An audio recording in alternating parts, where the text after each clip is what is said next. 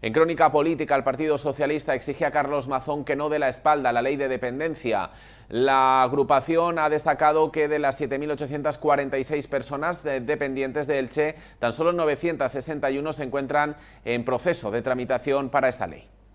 La diputada autonómica del PSPV, Laura Soler, junto a los miembros del Grupo Municipal Socialista, exigen a Carlos Mazón, presidente de la Generalitat Valenciana, agilitar los procesos de la ley de dependencia, además de acelerar la designación del asistente personal y abogan por la deducción de la seguridad social de los cuidadores profesionales, ya que según el PSOE en Elche existen 7.846 personas dependientes de distinto grado y 961 siguen esperando una resolución.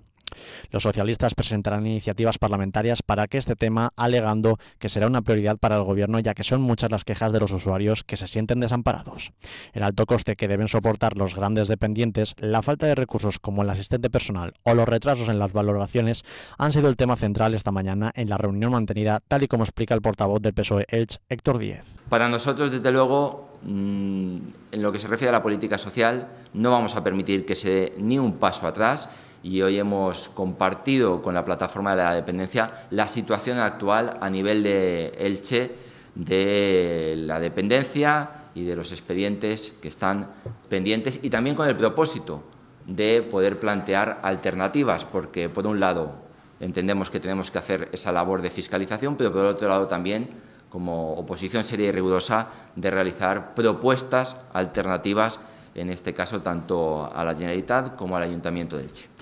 Los socialistas de esta forma han abogado porque los ayuntamientos dispongan de bolsas de trabajo de asistente personal que puedan prestar servicio a los usuarios cuando no tengan la posibilidad de tener esa figura. Además, que la futura ley estatal de cuidados vaya en la línea de la autonomía personal y no institucionalización de las personas.